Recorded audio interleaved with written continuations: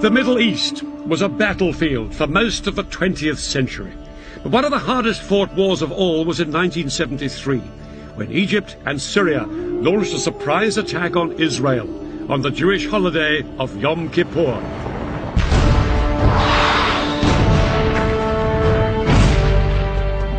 For three weeks, the battle swung violently from side to side. It brought each within sight of victory and defeat. And it brought the superpowers, America and the Soviet Union, close to a nuclear showdown. The Israelis were in no doubt they were fighting for their country's very survival. For the soldiers of Syria and Egypt, it was a battle for Arab territory and Arab pride. In this program, I'll be revealing how Arab and Israeli commanders astonished each other with the boldness of their strategy. And I'll be finding out how both sides use the latest weaponry with shattering results. No 20th century conflict has been as lasting and bitter as the struggle between Israel and its Arab neighbors. This is the story of the biggest battle between them. It's still such a sensitive subject in Egypt that they wouldn't let us film there. This is the story of the October War of 1973.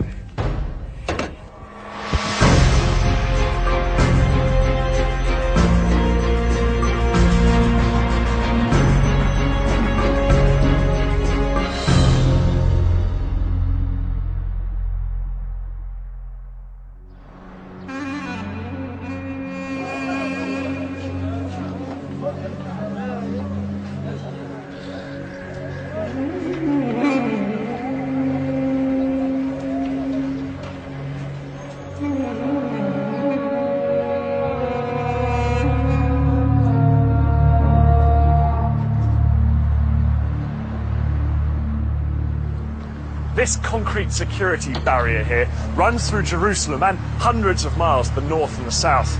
On this side live predominantly Muslim Palestinian Arabs. On this side, the largely Jewish population of Israel. The 8 metre high barrier, which the Israelis started building in 2002, is the most powerful symbol of the hostility between Jews and Arabs, which still remains after nearly a century of conflict. The Israelis say that they built this barrier to keep out Palestinian terrorists. The Palestinians say it's just Israel's way of grabbing more of their land. And that's what this conflict has always been about land. Land known at the beginning of the 20th century as Palestine. Back in 1917, the British controlled Palestine and they promised the Jews a homeland here. The problem was, there were more than ten times as many Arabs as Jews already living in Palestine. And as hundreds of thousands more Jews poured into the country, open fighting broke out between them. By 1947, things were so bad, the United Nations stepped in with a plan. This is how Palestine looked then. Lying on the eastern edge of the Mediterranean, it was bordered by Lebanon, Syria, Transjordan, and Egypt. The United Nations suggested partition. The Palestinians would keep land here, here, and here, and the Jews would have the rest. Jerusalem would be an open city shared by everyone. The Jews accepted the plan, and in 1948 they declared their independence as the State of Israel. But the Palestinians and the neighboring Arab countries rejected partition. War followed, and the borders changed once more. The Israelis took over Arab lands here in the north and along the Egyptian border, ending up with most of Palestine and most of the key city of Jerusalem.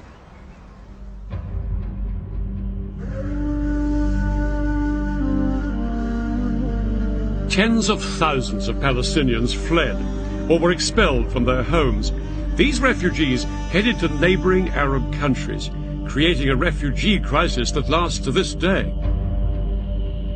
One night everyone was awakened to the sound of people. Go, go, the Jews, the Jews are coming. I can still recall the voice and the ensuing chaos. Within a short period of time, the entire village was marching out, carrying bare essentials, bedding on a mule, some clothing, some food.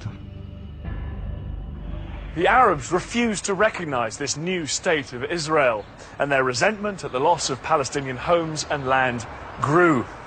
For their part, the Israelis felt vulnerable, surrounded on all sides by hostile Arab enemies. Over the next 20 years, there was regular fighting along the borders. In 1967, things finally came to a head. On the morning of June the 5th, Israel launched a preemptive strike against Egypt. It was followed hours later by attacks on Egypt's allies, Syria and Jordan. It would become known as the Six Day War.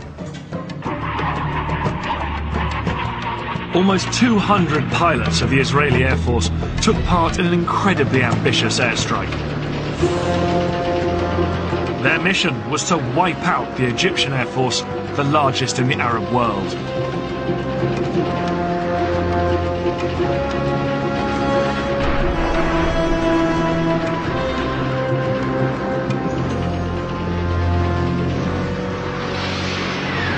In just under two hours, Israeli bombs destroyed almost the entire Egyptian Air Force before it had even got off the ground. Next, Israel launched strikes on the air forces of Jordan and Syria. By the end of the day, Israeli pilots had won total control of the skies. Not very far away, there were some military bases, and um, they had been attacked early in the morning. There was nothing announced, and we didn't know what was going on. Defeat was unfolding right there.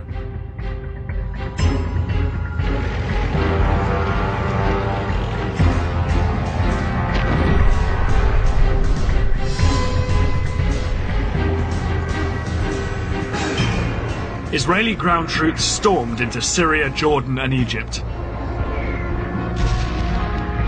At the same time, other Israeli troops made a bid to capture Arab held Jerusalem.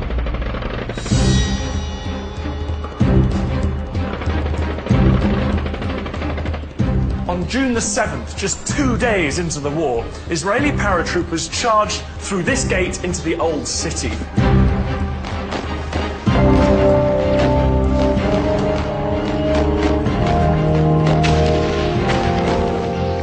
As they pushed through these narrow streets, they came under fire from Jordanian snipers who'd taken up position in the upper stories of the buildings on either side. The Israelis pushed on. It took them a few hours to clear out these last pockets of resistance, but by early afternoon, the whole of Jerusalem was in Israeli hands. I took out the Israeli flag, which I carried with me the whole time, and waved it. I hung the flag on the fence. My commander, who was the toughest among us, was standing next to me. He burst into tears underneath his steel helmet. Another friend was weeping, a chain of bullets wrapped around his neck. In the days that followed, Israeli troops drove back the soldiers of Jordan, Syria, and Egypt. In six days, the Israelis had won the war. The defeated nations counted the cost.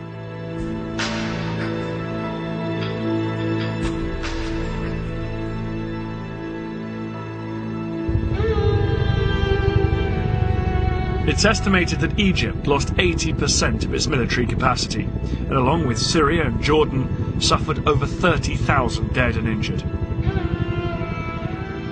People didn't really know what was going to happen next. I mean, people were scared. The whole country was at a total loss of what to do. The fighting may have been over, but it hadn't created the conditions where the two sides could come together. Peace was as far away as ever. For the Arabs, the Six Day War was an utter disaster. Before this whirlwind campaign, Israel had been a tiny wedge of land, squeezed between Arab states, only nine miles wide at its narrowest. Suddenly, it was a Middle East superpower and five times the size. The borders had been pushed back to swallow a piece of Syria up here, called the Golan Heights. To the east, Israel had seized the West Bank, And in the south, it now occupied Egypt's entire Sinai Peninsula, a huge expanse of desert. From this newfound position of strength, Israel's leaders demanded that the Arab world recognize the State of Israel.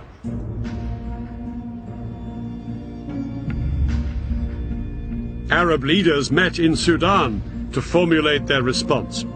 They were emphatic. They would not recognize Israel and insisted on a total Israeli withdrawal from the territories it had just occupied. Over the next few years, both sides became entrenched, and nowhere was this more visible than along the new border with Egypt. The Suez Canal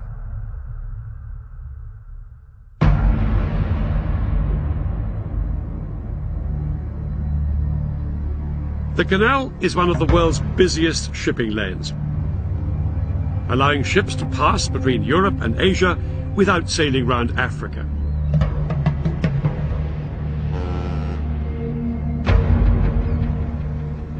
But after the Six-Day War, this international waterway was closed to shipping as sporadic fighting between both sides continued to flare up.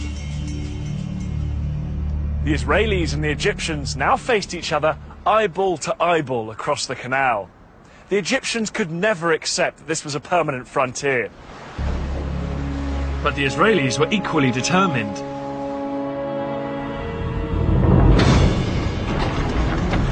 Egyptians now watched in horror as the Israeli military machine went to work. All along the Suez Canal, the Israelis built a massive network of walls, forts and trenches that became known as the Bar Lev Line.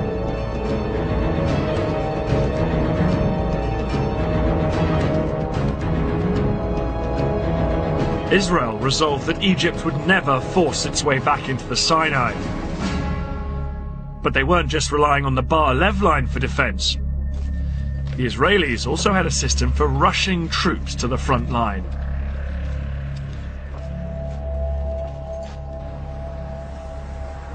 Israel has a small population and can't afford a large standing army. So every male Israeli does three years national service and remains a reservist into his 40s or 50s, ready to be mobilized in times of war. Today, females also do national service and they can also be called up if war breaks out.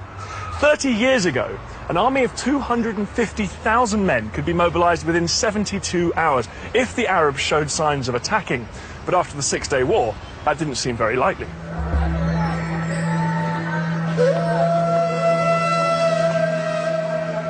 the Israelis had practically destroyed Arab air power.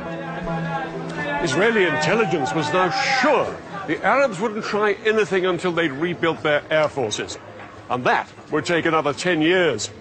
The Israelis were supremely confident that if their neighbors so much as twitched, they would batter them into submission once more. But in Cairo, something had happened that the Israelis hadn't reckoned with.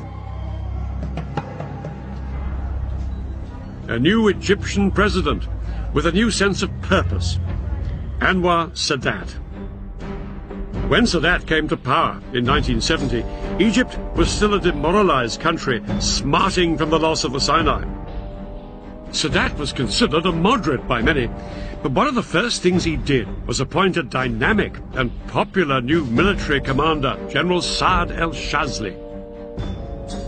Shazli was given the job of revitalizing Egypt's poorly trained and under-equipped army.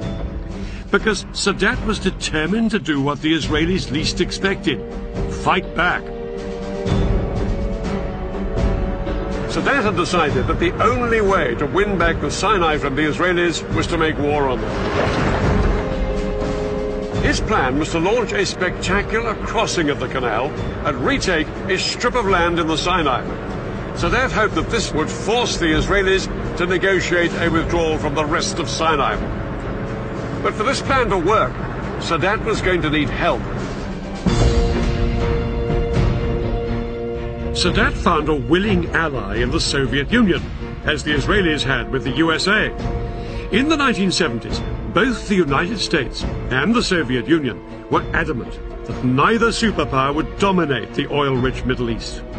The Soviets provided Egypt with the latest surface-to-air missiles, called SAMs.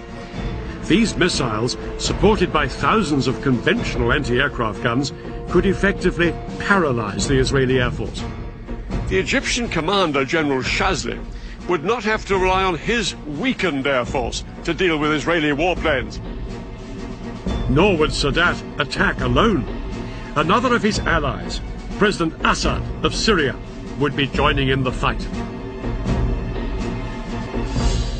The key to the Egyptian plan was a surprise coordinated ground attack on Israel. The Syrians would attack on the Golan at exactly the same moment as the Egyptians struck along the entire length of the canal. But Shazli knew that no matter how stunned the Israelis might be by this two-pronged offensive, they would soon counterattack with their most lethal weapon, their air force. And that was where the SAM missiles came in. Shazli concentrated his SAMs along the Suez Canal. These missiles could bring down any Israeli planes that came within 15 miles. The SAMs and regular artillery guns would create a protective umbrella, shown here in red, under which Egyptian boats and infantry could cross safely. They would then seize the forts of the Bar-Lev line and secure a strip of land a few miles deep into the Sinai. The date of the attack was set for October the 6th, when the tides would give the most favourable conditions for crossing the canal. But October the 6th was also the holiest day of the Jewish year, Yom Kippur, when Israelis would be at home or the synagogue. With their plans in place, the Egyptians and their Syrian allies set about ensuring that the Israelis had no idea they were about to be attacked on two fronts.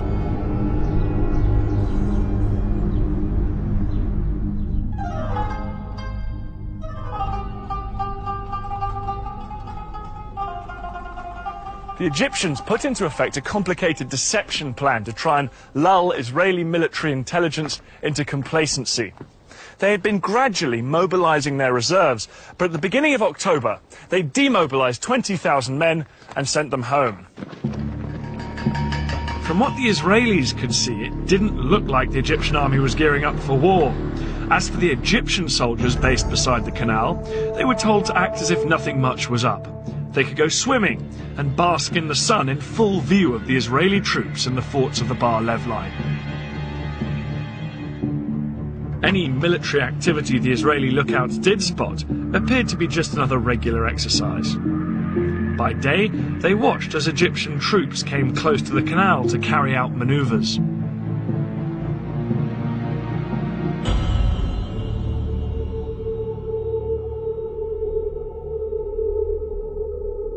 At night, they appeared to head back inland to their barracks many miles away.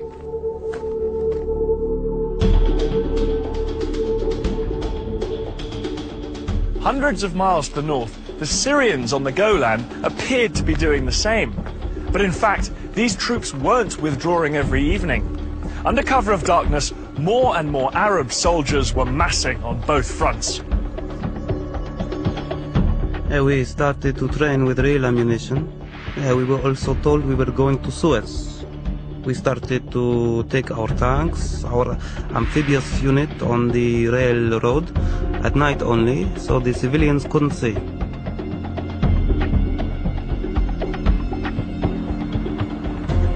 Reports of all this Egyptian activity were given to the heads of Israel's military intelligence. There'd been a number of false alarms in the past, and they were convinced that this was just another one. But they were wrong. At 4.30 a.m. on the 6th of October, the day of Yom Kippur, the phone rang at the home of Israel's military chief. General David Elazar. Elazar had been made Israeli Chief of Staff after a long military career and a host of victories.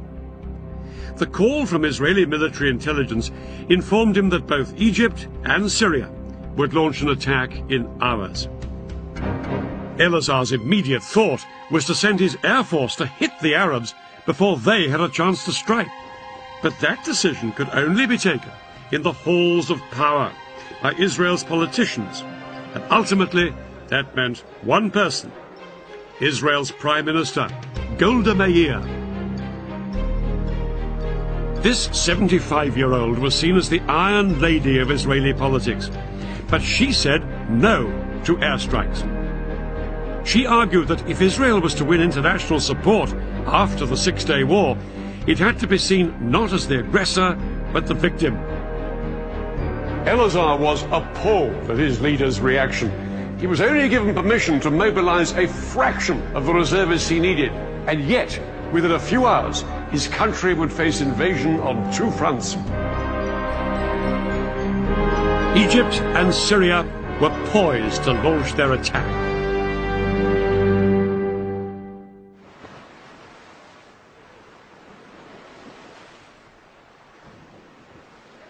Just before two o'clock, the Egyptians put their part of the plan into action.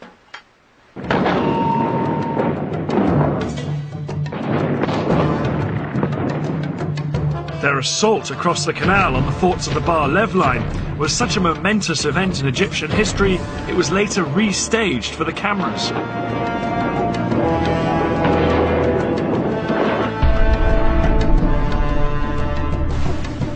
Thousands of Egypt's best trained commandos crossed the Suez Canal in rubber dinghies. They landed on the east bank in the gaps between the forts of the Bar Lev line. The Egyptian commandos then scrambled up the high sand ramparts. They attached rope ladders to make it easier for the soldiers following on behind them.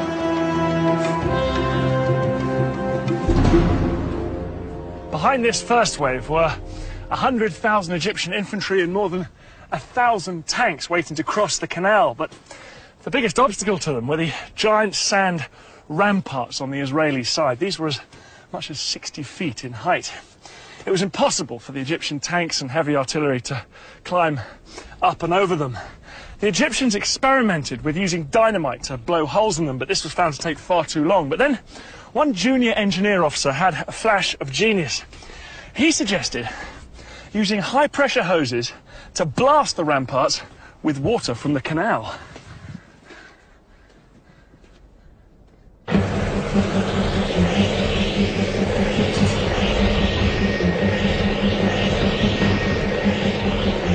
It was an extraordinary idea which would have to work if the entire Egyptian assault was to be a success.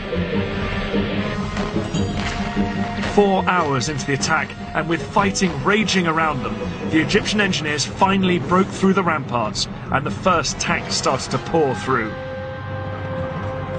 I never believed I would see the day when I was in Sinai. But this was actually Sinai. I looked back at the West Bank and all the green on the other side, and to the east, all I could see is desert. It was good feeling. The eastern bank of the canal now became a battlefield. The Israelis manning the fort sprayed machine gun fire at their Egyptian attackers to try and stem the tide. But within two hours, 23,000 of Egypt's infantry were on the east bank and had advanced up to one mile into Sinai.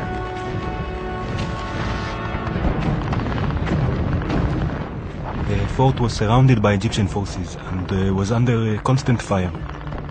We made repeated calls for help. We fired from uh, time to time and reported back what we saw. But mainly, we tried to keep up our morale. But the Israelis were sure that their air force would come to the rescue. The first Israeli jets were sent in at 4 p.m., flying low over the desert. But as they approached the canal, they found themselves under attack from the ground. The Egyptian SAM missiles and anti-aircraft guns caused havoc. As Israeli planes were shot down that afternoon, it soon became clear that Egypt's elaborate air defense umbrella was working.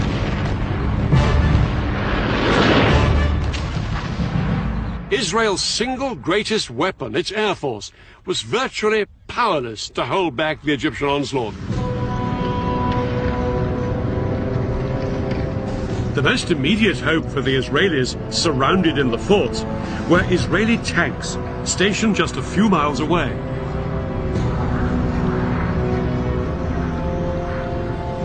The Israeli tanks raced towards the canal. They thought they'd throw the Egyptians back as easily as they had done in 1967. But as they got closer, they found themselves coming under attack from a weapon they'd never faced before. The Sagger missile. This Soviet made weapon was specifically designed to punch through the thick metal armour of tanks. Yet it was small enough to be carried onto the battlefield in a backpack. Unlike bigger anti tank guns, the Sagger could be set up in moments. This lightweight piece of kit was made all the more lethal because the missile could be steered onto its target.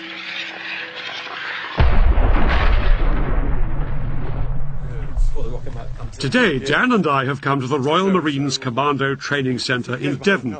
We're going to find out why Egyptian foot soldiers found the new generation of anti-tank weapons so useful. A modern day equivalent of the Sagger is called the Javelin. It costs £75,000 to fire one missile, so I'm being shown the ropes on a simulator. Okay, so as you're looking through the, the eyepiece now, uh, Dave, hopefully you're seeing exactly the same pictures I'm going to see on the computer screen. Yeah. Rather than firing off a real missile, the Javelin trainer uses a laser system. If I hit the target, it will show up on the control panel. Good scan. Oh, there's one up there on that There ridge line. Okay, so well pinged, well spotted that one. There's, here's another one. He's coming straight towards me, this Okay, so I'll make that your priority target because it's a direct threat to you. Okay. Activate the seeker and release. Right, he's going behind a few little hillocks and things, but... Okay, okay now we're in seeker field of view. So what going to do, you can decide to engage that vehicle. So squeeze and hold left hand trigger. Squeeze and release right. Well done. Let's see how we do. Just watching it now. Just watch it's it, nice now to do anything. Okay, so Oh, that's a right. good hit. Right smack centre of the top Right of on the the turret. turret. I was ready to take the simulator out into the field. I'm aiming at a real target. That truck fitted with a laser detector that will register a hit. Well, here we are now in this moving vehicle, making a target for Dan, very like the Israelis moving forward to attack the Egyptians in Sinai. Must have made for the Egyptians. Thank you. For a novice like me, a javelin is easier to handle than a sagger. When a sagger was fired, it trailed a control wire behind it, and the operator used a joystick which had to keep steering the missile until it reached its target. I think I can see something now. A hit required good training and a steady hand. I was going to have a pop at them. With the javelin, all I have to do is get the truck in the sights, lock the guidance system onto it, and fire. No, he's just popped out now. There You just see are, the smoke yeah. from his exhaust. Activating the seeker. Okay, Okay, I'm going to go for it. go for it. At least, that's the theory.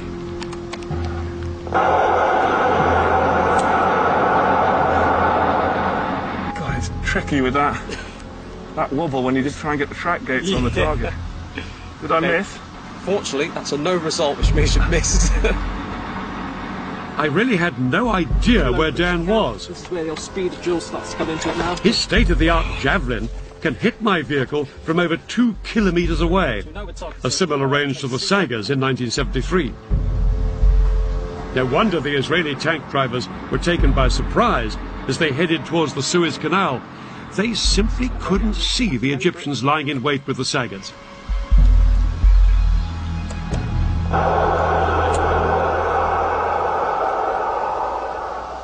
Hit. Hit. Well done. Oh, brilliant. hey, Dad. Okay, tell me you missed us. I'm afraid to say, I got a hit. You didn't. Yeah, see, look, look there. Hit. 700 metres. Good gracious. Yeah, well I. I did miss the first time. You have got the most modern guided missile there, Well, probably in the world. No, I know. Because one thing worth saying is that the Saggers were wire-guided missiles. You had to keep the sight on the target all the time the missile was travelling towards it. It had to be fixed there, whereas you just fired it and forgot. Yes? Yeah, it's hard enough to get the, the sight locked onto you. uh, And actually have to, to have to keep it there for the entire time the missile's in the air would be incredible. You're, you're shaking, you're breathing, you're nervous. I, I, I, I wouldn't, I couldn't have done it if I, if it hadn't been a lock on and then forget about it. Very, very powerful form of anti-tank warfare. For the Israelis, quite a new ordeal. In 1973, the Sagger was turning the Sinai into a tank graveyard. The tanks, which were the pride of Israel's army, were being destroyed by Egyptian infantrymen. Israel had begun the war with around 300 tanks in Sinai. By the end of the first 36 hours, they'd lost approximately half of this number. Things were critical for the Israeli soldiers in Sinai. But that was only half the story. At the same time the Egyptians launched their attack, the Syrians had launched their bid to retake the Golan Heights.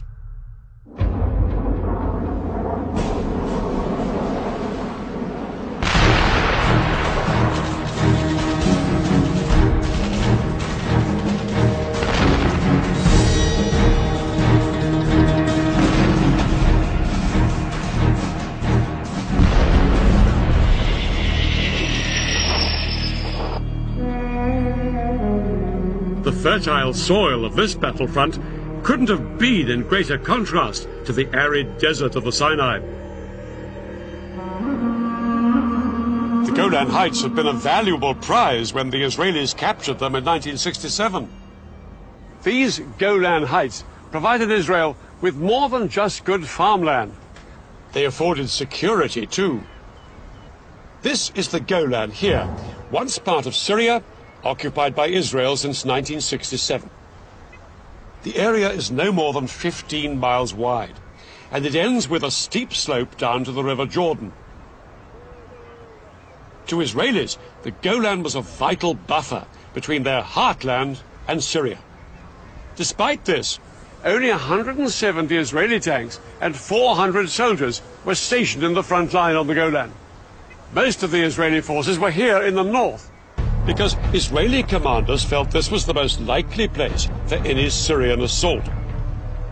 But when the Syrians made their move, their 1,200 tanks and 60,000 men attacked all the way along the line. Six hours into the battle, the Syrians' overwhelming strength was beginning to tell, and their tanks broke through down here in the more lightly defended south. By nightfall, they'd almost reached the western edge of the heights, where they could look down on the River Jordan. If Syrian tanks could now seize the vital bridges across the Jordan, they'd be able to pour across the river into Israel's heartland.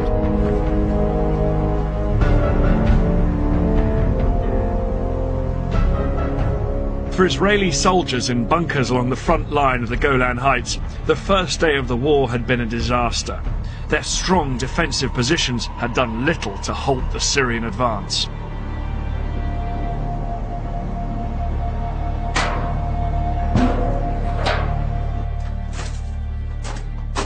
This is one of the Israeli bunkers dug in to the Golan Heights, and it's got an incredibly strong construction. It's deep underground, it's reinforced concrete, and these steel plates here as well.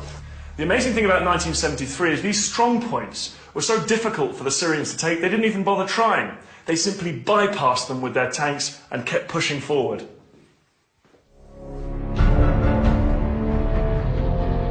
By the end of the day, the Syrians had taken almost the entire southern half of the Golan Heights.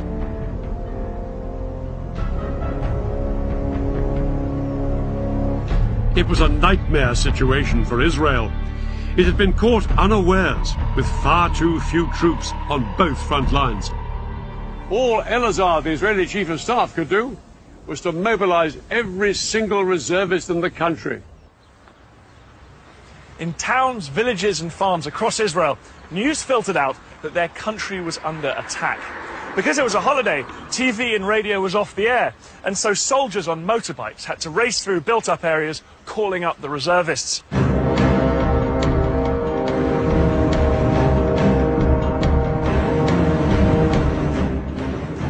In my kibbutz on Yom Kippur when I uh, heard the planes taking off from the Air Force Base in the area.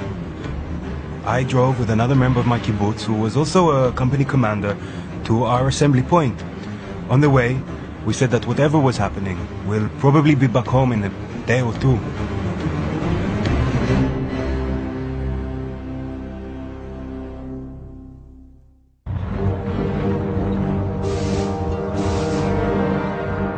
And tanks headed out towards both fronts, but it would take two long days before they'd be ready to mount a counterattack.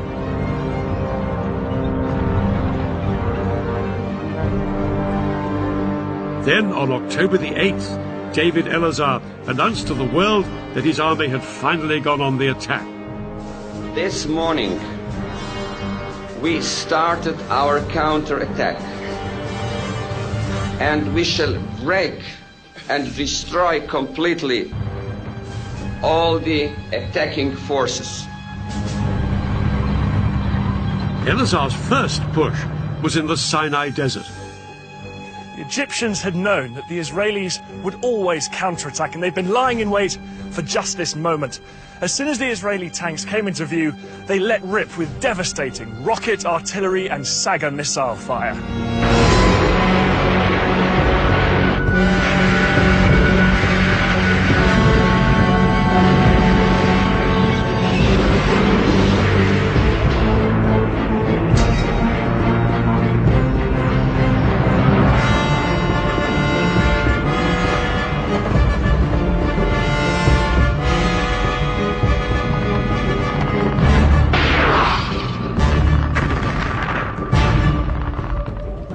Israelis suffered heavy casualties all day.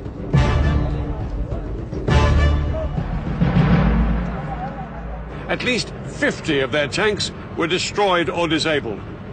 To the Israelis, it was abundantly clear this was no longer the poorly trained Egyptian army they'd fought in the past. By the end of the day, Israel was facing catastrophe. Israelis had believed that once their army was in place, they would be victorious. Now they had to face the shocking truth that this hadn't happened. Prime Minister Meir sent an urgent request to the Americans, begging them to resupply the country. Under attack on two fronts, Israelis felt their country was about to be squeezed out of existence.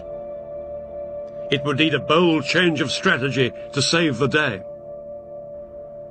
The simple truth was that Israel did not have the strength to fight this war on two fronts at the same time. Elazar had to concentrate his strength on one front before he tried to roll back his enemy on the other. In the Sinai, the Egyptians were separated from Israel by hundreds of miles of desert. But here on the Golan, the Syrians were perilously close to Israel's main villages and towns across the Jordan, just a few miles' drive away. The Golan had to be Elazar's priority. So he ordered the army and the air force to put everything they had into throwing the Syrians back. Some tank units would attack halfway along the Golan to relieve the pressure on Nafach, the Israeli HQ on the heights. Other Israeli tanks had already been ordered to go up onto the southern Golan, where the Syrians were closest to Israel's heartland. Their commander had been told bluntly, You are Israel's last hope. But one thing in their favor was that the Syrians had made an extraordinary decision to halt up on the high ground rather than press on towards the River Jordan.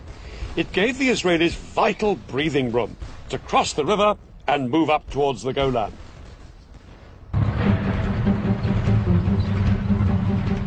On the night of October the 8th, Israeli tanks stormed the Syrian positions.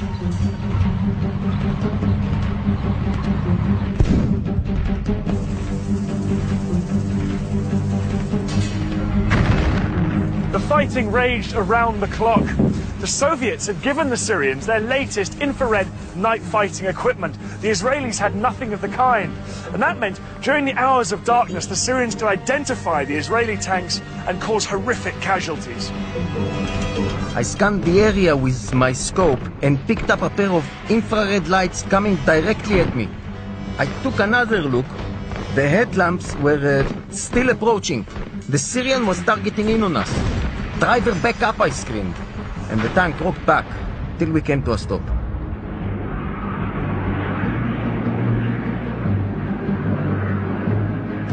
But as day broke, the Israeli ground troops got some much needed relief from their air force.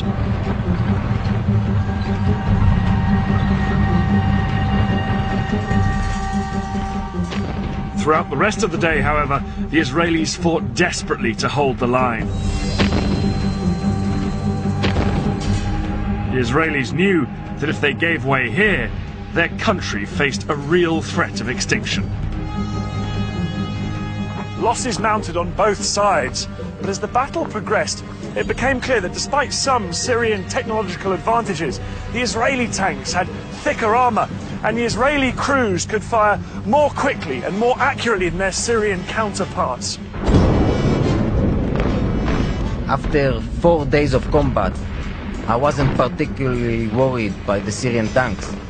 It was enough to locate them and to have them come out to meet us, and victory would be ours.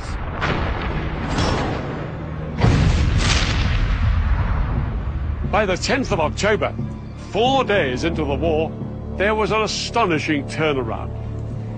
The Syrians were in full flight from here on the Golan. Israel's tanks chased them into Syria itself. And soon the Israelis were within shelling distance of the Syrian capital Damascus, just 30 miles off that way. Syrian President Assad sent a message to President Sadat, urging the Egyptian leader to do something to relieve the pressure on Syria. And now Sadat made a momentous decision. Down on the Suez Canal, Sadat ordered his men to thrust way beyond the strong defense line they'd established on the east bank of the canal. Their objective? Strategic passes through these mountains. But to get there, they'd have to leave the safety of their SAM missile umbrella way behind them. It was a high-risk strategy, and Shazli was appalled by the decision. But Sadat was immovable. What followed would be one of the biggest tank battles in history.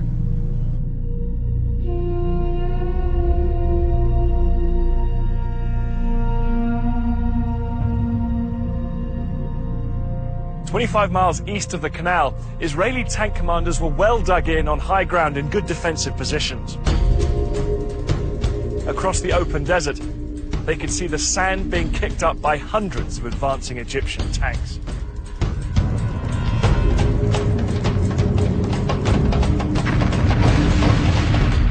The Egyptians were totally exposed to withering Israeli fire.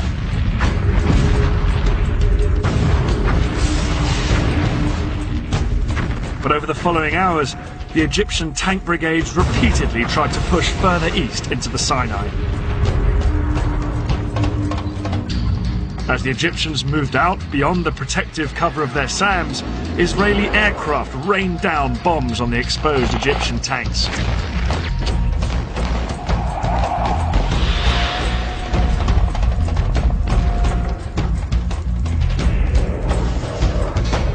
The Israelis' skillful use of their tank guns meant that they pulverized the Egyptians exposed down on the open ground.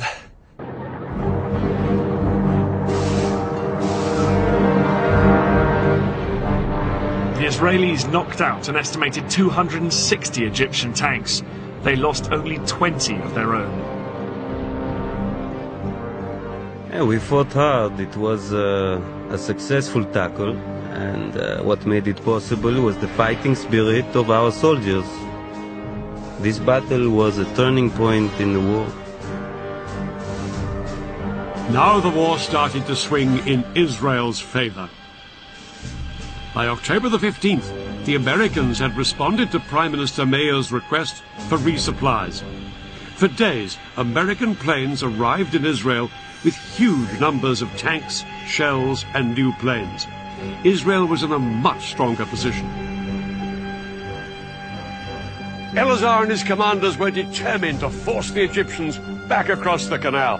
They now planned an exceedingly ambitious and risky operation, and a man who would play a key part in it was General Ariel Sharon. Sharon would later become Israel's prime minister, but in 73 he was one of the country's most dynamic generals and immensely charismatic. He just left the army that summer, but when war broke out, he was recalled. His detailed knowledge of the Sinai, where he'd fought during the Six Day War, would prove invaluable in framing Israel's audacious new plan. The Egyptians on the east bank of the canal were split into two armies, one in the north and one in the south. A hundred thousand men and about a thousand tanks, well dug in and well defended by minefields. They looked impregnable. But one of Sharon's patrols had discovered a narrow gap, just one mile wide, between the two armies at this spot, where the Suez Canal joined a large salt lake. Sharon was ordered to push through here with his tanks, widen the gap, and secure a corridor through to the canal. The Israelis would bridge the canal, and hundreds of tanks would then pour across it and fan out north and south to cut off the Egyptians from behind. The Egyptians' positions on the eastern canal bank would then be untenable. For the Israelis, the whole operation would be fraught with danger. The biggest threat was an Egyptian stronghold here called Chinese Farm. It was just north of the planned Israeli corridor. Sharon had to neutralize the Egyptians at Chinese Farm if the Israeli plan was to succeed. But what the Israelis didn't know was just how big the Egyptian presence was at Chinese Farm. Large numbers of Egyptian tanks and infantry were gathered there. Unaware of how outnumbered they were, at dusk on October the 15th, the Israeli assault force moved in. Sharon's tank crews approached Chinese Farm to make their surprise attack. They moved in from three different directions, but the Egyptian position was a lot stronger than the Israelis had expected. A ferocious night battle erupted between the Israelis and the Egyptians. Both sides now faced the same problem. The fighting was at such close quarters that it was difficult to tell who was friend and who was foe. At uh, one point, uh, when my tank had stopped, an Egyptian soldier climbed onto it and asked me in Arabic for a cigarette. He thought we were Egyptians. I bent down and uh, pulled the pin on a grenade and tossed it at him. All night, the Egyptians put up a stiff defense. They disabled Israeli tanks and killed and wounded enemy soldiers. The Israelis realized they faced a tough fight to secure the vital road to the canal. The Egyptians were uh, spread out like a horseshoe. They could shoot at us from three sides. It was a carpet of fire, the bullets were everywhere. I thought from here, we are not going to get out alive. This is our death place. Sharon decided to cross the canal before waiting for the Battle of Chinese Farm to be won. At midnight, he sent 750 paratroopers to sneak across and establish the vital toehold on the west bank. His men had been totally unopposed. But to turn this into a major breakthrough, the Israelis would need to get thousands more men and tanks across the canal. In fact, the Israelis had built a mobile bridge a year before the war for just this purpose. The bridge was 180 meters long, weighed 400 tons, and took three days to put together. Once assembled, it was towed on metal rollers through the desert by 12 tanks along the only road down to the canal. But there was a problem. Because of the fighting still raging at Chinese Farm, the road to the canal was blocked by a huge traffic jam. By daybreak, the bridge had only travelled two miles. There were another 13 to go. Sharon needed to get tanks across the canal to reinforce his troops who'd crossed earlier. Without the bridge in place, he had to float 50 tanks across on inflatable rafts. The sudden appearance of Israeli tanks on the west bank of the canal was a huge surprise for the Egyptians. Soldiers manning the SAM batteries reported that groups of several tanks would show up in the distance, open fire at them, and then disappear.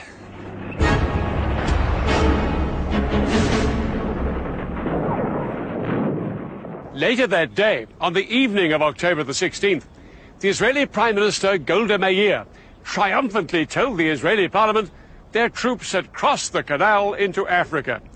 In reality, it would be another two days before the Israelis secured the corridor to the canal. It wasn't until October the 19th that the bridge was finally in place.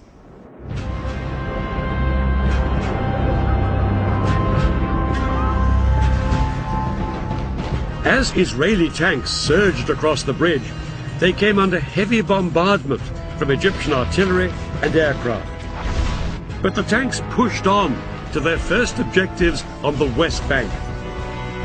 Egypt's SAM missile sites. Once these missiles were destroyed, Israeli warplanes swept into the attack in support of the tanks fanning out north and south on the west bank of the canal. Egypt's Third Army, here on the east bank, was soon in danger of being surrounded. Shazli urged that some units should be pulled back here to the west bank to fight the Israelis. President Sadat replied abruptly, no retreat. He believed that reducing forces on the East Bank would risk losing everything they'd fought for. But Sadat was ready for a ceasefire.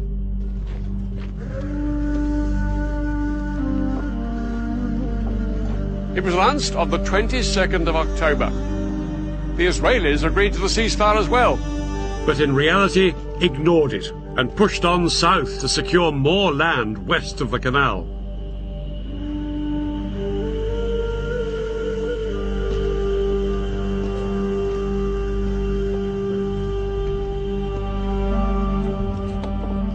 By October the 23rd, the Egyptian Third Army was surrounded.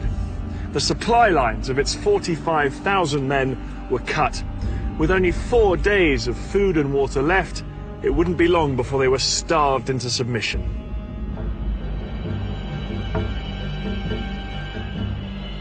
Some Egyptian soldiers were so desperate they surrendered. Others hung on. No food come to us, no munitions come to us, eh, no evacuation of any injured, no water, and we didn't need gas because we weren't going anywhere. And just when it seemed to be over, the war took a dramatic turn. It was at this critical moment that Egypt's most powerful ally, the Soviet Union, made one final bid to help the Egyptians. The Soviet president, Leonid Brezhnev, told the Americans unless they agreed to send a joint US-Soviet peacekeeping force to the Middle East, he would send Soviet troops on their own. The Americans were determined that no Soviet troops would enter the Middle East. In a sudden escalation, America put its nuclear forces on alert. US nuclear missiles were readied in their silos, and two aircraft carriers with nuclear strike forces were ordered to the eastern Mediterranean. The implied threat of nuclear war forced Brezhnev to make a choice to escalate or to climb down. Brezhnev decided to climb down, and no Soviet troops went to the Middle East. But the flurry of international pressure had made its mark. On October the 25th, the Israelis finally heeded the ceasefire, and the October War was effectively over.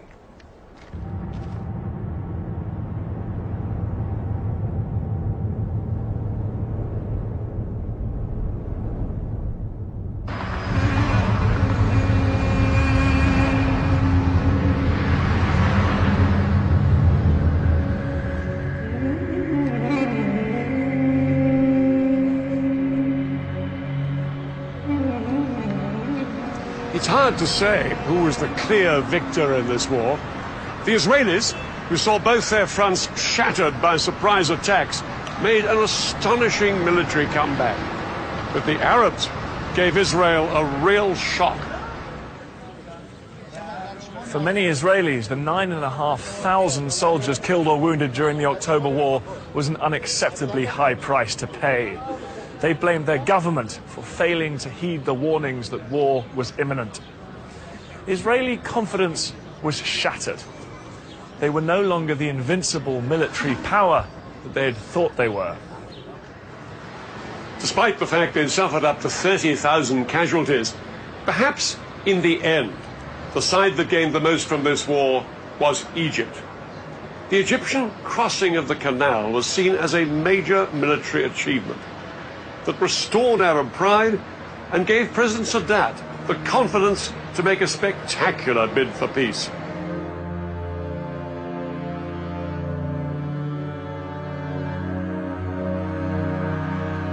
In November 1977, the Egyptian president, Anwar Sadat, arrived in Israel.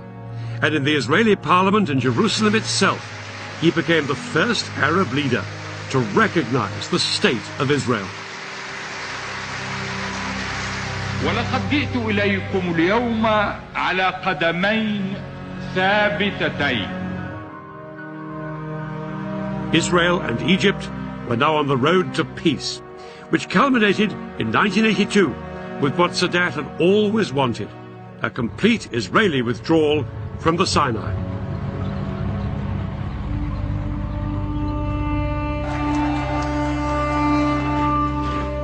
But Sadat never saw it happen.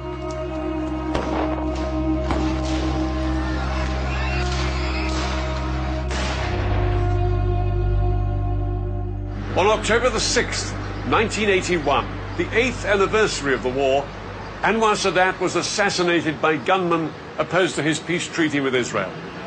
The October War had claimed its last victim.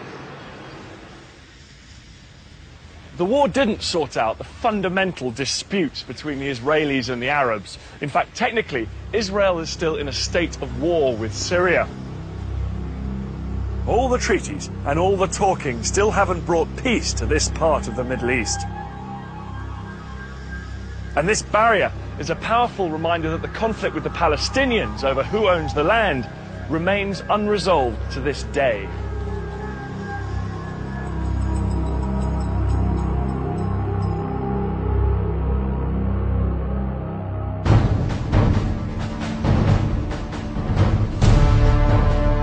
Next week, 20th century battlefields brings you the Falklands War. In April 1982, Argentina invaded these remote islands and triggered one of the most ambitious military undertakings in British history. I look at how the British fought 8,000 miles from home. And I'll see how the troops tackled this hostile terrain. It was, in a way, one of the century's most bizarre conflicts. It's the story of the battle for the Falklands.